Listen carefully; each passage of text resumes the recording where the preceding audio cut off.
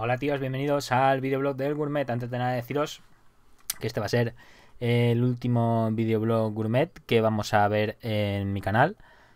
Eh, porque, bueno, básicamente mm, el partner que tengo es de una red de videojuegos y no puedo subir más de ciertos vídeos que no sean de videojuegos. Así que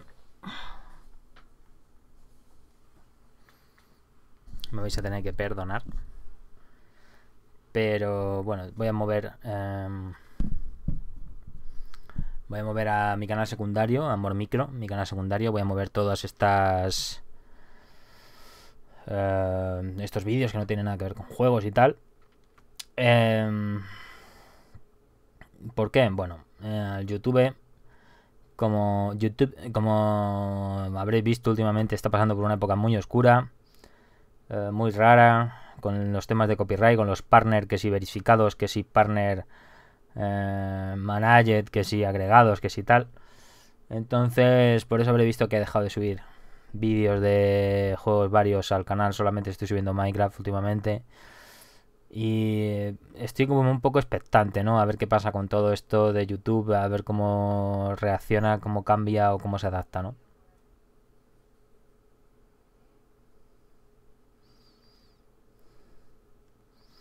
Y nada, más. Em, ahí tenéis mi canal, Mormicro, mi canal secundario, que no tiene partner con nadie. Así que puedo subir lo que me salga del cipote mientras no tenga copyright de nadie. Así que ahí es donde subiré todos estos vídeos del gourmet, de videoblogs que haga hablando de cosas que me parezcan. Y también una par de series nuevas con otros contextos que quiero empezar a hacer, que quiero probar, más que nada para diversificarme un poco, porque todo el tema este de los videojuegos tiene pinta de que se va a ir al garete. Y excepto los que ya están ahí en la cúspide, que ya están súper protegidos por sus partners y no hay quien los toque, a los demás seguramente que se nos vayan cargando poco a poco y si no al tiempo. Em, pero bueno, quiero también ver cómo se desarrolla el tema y tal, ¿no? Bueno, eh, así que si queréis ver más vídeos del gourmet, suscribiros a Mormicro, os dejaré en la descripción del vídeo, en la casilla de descripción, os dejaré los enlaces. Y poco más. Y esto es el vídeo del gourmet. Ya sabéis que en el vídeo del gourmet os enseño productos nuevos o chorradillas o cosas curiosas. O se me desenfoca la cámara. O, novedades. O no sé. Todo en el tema ambientado de la comida basura, de las chucherías y de las guarrerías. Em, y bien, eh, hacía bastante que no subía un vídeo del gourmet. Pero es que simplemente no he encontrado nunca variedad como para hacer uno nuevo. Y, y para traer cosas nuevas. Eh, sé que es un poco triste, pero es lo que hay. O sea, esto va por rachas, va por tal, y en Navidad no me dio tiempo a hacerlo, así que ahora mismo pues no hay tampoco... Después de Navidad no hay tampoco mucho lanzamiento de novedades y cosas así. Pero bueno, siempre hay curiosidades y cosas chulas como las que os traigo hoy para enseñaros. Vamos a empezar como siempre por los líquidos. Y vamos a empezar en Deluxe. Bacardi Cuba Libre. Mix Ram and Cola. Mix Ram and Cola. Em, bebida alcohólica base de ron Bacardi superior 12% y cola. Esto cuesta 1,20, 1 y pico. Así que es más barato que un cubata.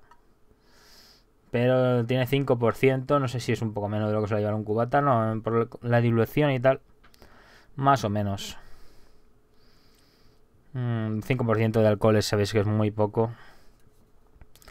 A no ser que seáis súper sensibles. Sí, bueno, aquí dice que hay que tomarlo con media lima exprimida y con unos cubitos de hielo, pero no lo tengo a mano.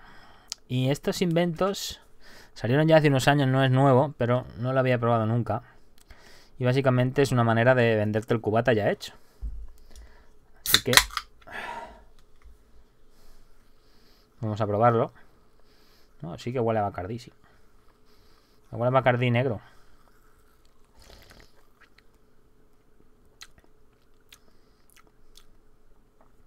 Bacardí superior, sí, sabe. A caña tostada. Oh, tiene saborizante. tiene saborizante de caramelo.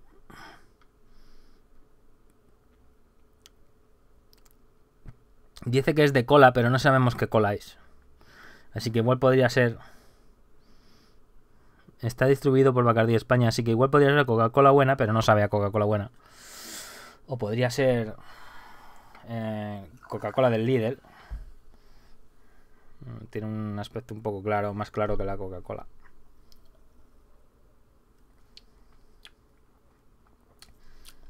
Y el sabor al ron se nota, pero no tiene pegada, no, no está fuerte. Está bueno. Si os gusta todo este tema de, de los cubatas, está interesante. Ahora, eso sí, por supuesto, mucho mejor con su hielo y su todo, pero como no lo tengo, pues eh, yo soy así. yo soy así. interesante. Voy a enseñaros algo nuevo. ¿Qué brownie? American brownie. ¿Qué American brownie? En los que ya sabéis que son la bollería industrial de pan rico, de los que hacen los donuts. donuts. Em, tienen el que palmera, que caña, que no sé, que torta, que gofre y tal. Y este es el que brownie.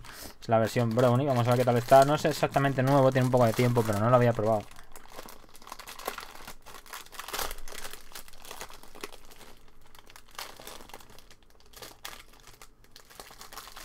Ahí tenéis el aspecto que tiene de brownie industrial. No tiene mala pinta.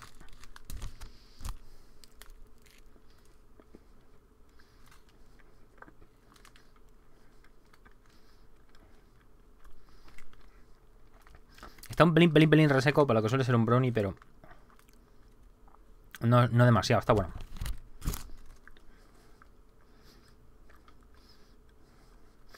Tiene algunos trozos no identificables dentro, duros. Parece que son de galleta o así. No está malo, me ha gustado más que, el último que probé del cake, que era como una cosa crujiente, crocanti, que no valía mucho. Está bueno, para ser lo que es. Eh,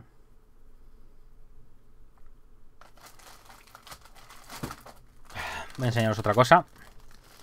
Eh, eso sin más, no sé, está bueno, pero vamos, tampoco... Todos conocéis las mm, galletas y si no, ahí con la imagen ya sabéis que son. Las galletas Artiach son las típicas galletas de barquillo rellenas de nata o de sabor. Y estas son la versión 0% azúcar añadido. Quiere decir que lleva edulcorante, pero al no, llevar azúcar añadido, sabor nata. O sea que no es nata, es sabor nata. Joder, tiene más ingredientes aquí que la lista de, de repetidores de mi clase. Tiene aquí una, una pinga para abrirlo.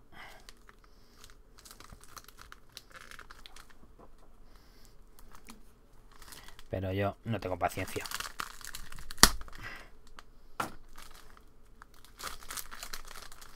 Y bueno, mm, esto es interesante para los que sean diabéticos y tal, para los que no quieran engordar mucho. Estas galletas que son sobre todo aire, no creo que tengan tampoco mucho azúcar en su versión original. Todos los habéis probado alguna vez y si no, alguna de sus versiones de otras marcas. Una vainilla. No, el olor está bastante bien conseguido, a tostadito.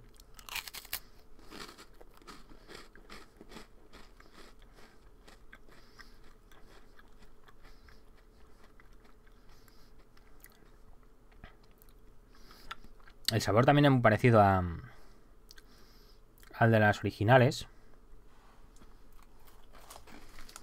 Está muy bien conseguido.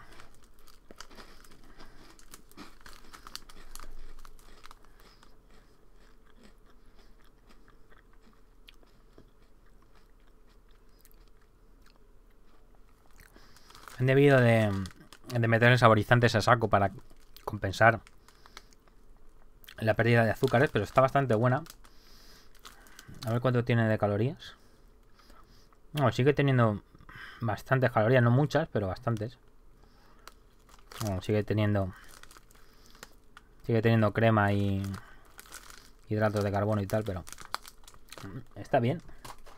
Está bien de sabor, no sé, no sé. Eh, tampoco es que las originales sean el sumum de sabor. Bueno, como curiosidad. Está bien. Ahora una novedad. McVitie, ya sabéis que es una marca adorada por el videoblog del otro gourmet. Porque son los que hacen todas las guarrerías estas de Bob Esponja y demás. Y este es el de los pitufos. Biscuit with chocolate flavored filling. O sea, galletas con relleno sabor a chocolate. Vamos a verlas.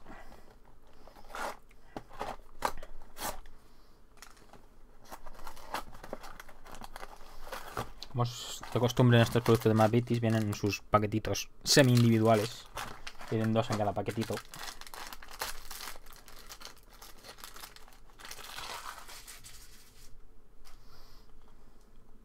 Ah, mira, tiene, cada una tiene una cara diferente. Este es uno cabreado. Y este es uno gafotas. Y este es el relleno de chocolate. La parte blanca que... De pitufo esto es blanco porque la gorra, pero aquí es negro, pues son pitufos de Google Clan, no sé.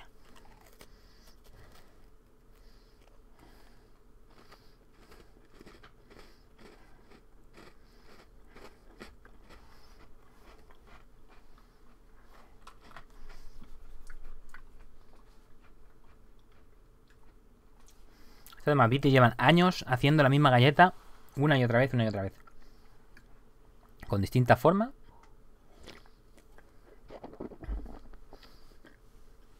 Típica galletita con un poco de sabor a coco. Ah, no está muy buena. Están bien, pero en fin, darle a vuestros hijos otra cosa un poquito más sana. Como por ejemplo esto. Los nuevos Don Bimbos. Todos sabéis que Bimbo es eh, el rey del pan de molde y Pan Rico el rey de los donuts. Pues siempre están intentando meterse el uno con, con el otro en el territorio del otro. Y han renovado sus clon de los donuts, Bimbo, y ahora los han llamado Don Bimbo. Y los han sacado en este paquete que es exactamente clónico al de los donuts normales. Y aquí los podéis ver, están un poco mohosos porque no es que sean muy recientes. Pues eran de ayer o de antes de ayer.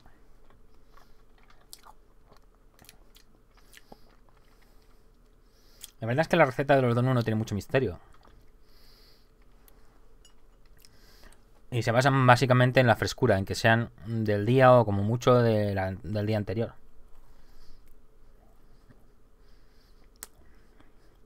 Y estos si estuvieran más frescos estarían más buenos, pero... Ya están como, como duros así. Pero puedo ver un serio competidor de los donuts. El problema es que no se llevan tampoco mucha diferencia de precio con los donuts normales y la gente va a tirar a la marca de toda la vida. Pero están buenos, sí. Si los veis, mirad que, que no estén muy resecos y tal.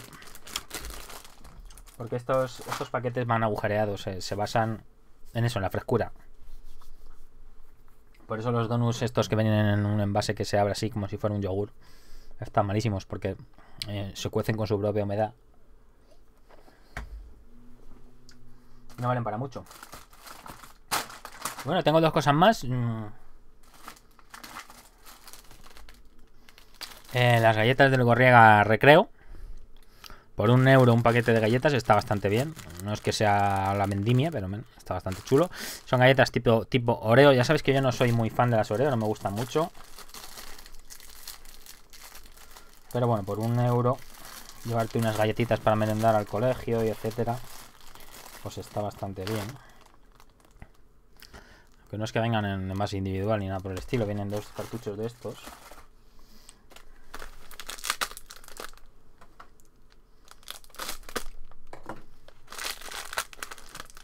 Aquí las tenemos. La típica galleta tipo Oreo, rellena de nata, bueno, de sabor a nata.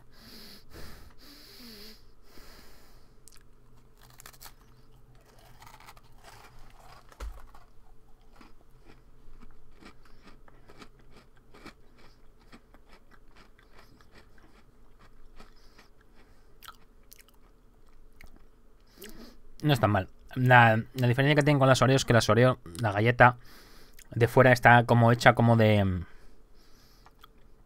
Como de trocitos de galleta prensados. Es como una galleta prensada. Que es lo que le da ese relieve que tiene. Y esta es una galleta tostada en el horno, como pueden ser cualquier galleta. Galleta María o tal, pero con relleno sabor a chocolate dentro.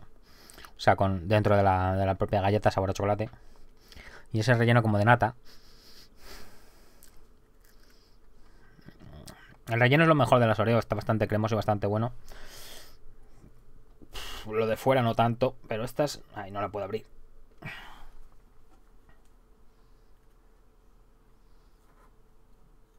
Así puedo abrirla sin romperla. Pues va a ser que no. Es súper duro, ¿eh? ¿eh? Es súper duro el relleno y es como si no estuviera tan cremoso y tal. Si el relleno estuviera un pelín mejor, las galletas estarían bastante buenas comparadas con las Oreo, como digo. Pero para ser un, producto de saldo de, de, un euro está bastante bien. En plan industrial, o sea, no se le puede pedir tampoco peras al olmo, como es una frase que yo digo mucho.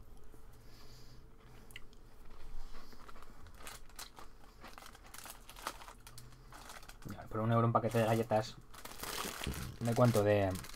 Dos de 150 gramos, 300 gramos de galletas. Pues no está excesivamente mal. Y en este. En este vértigo de las galletas he traído también. Perdonad por el ruido. Unas galletas de los productos de importación. Sabéis que me encantan los productos de importación, probar cosas de otros países y de otras regiones. Y son las galletas Eugenia. Biscuity Sandwich Cumulta crema de cacao. Eugenia. Se llama exactamente igual que mi abuela.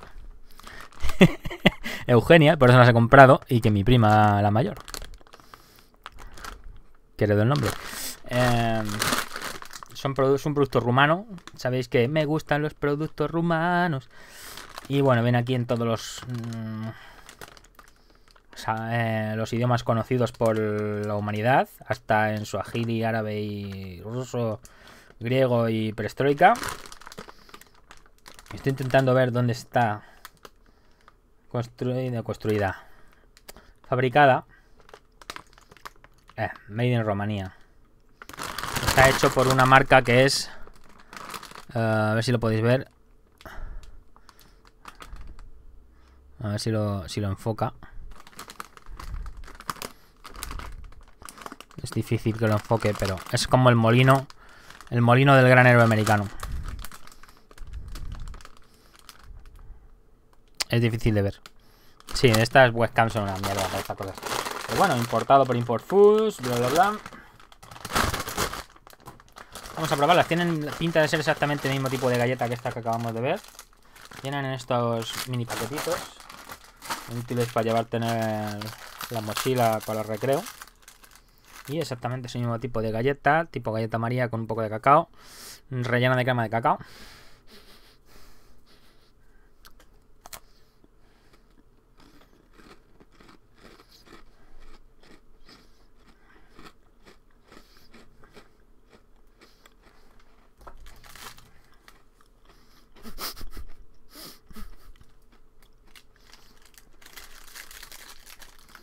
Está bastante bueno. El relleno me recuerda un poco aquellos. Aquellas galletitas que eran como de trufa, pero que no eran de trufa, que eran de otra cosa que era igual que las trufas. Es como. Como suavecito. Y la galleta propia. Eh, es crujiente por fuera, pero por dentro está como más blandita, o no sé. O no tiene mucha integridad por dentro y se deshace mejor. La verdad es que es un producto que allí debe ser lo más normal del mundo como aquí estás de un euro de Lengorriaga. Pero me ha parecido una curiosidad interesante.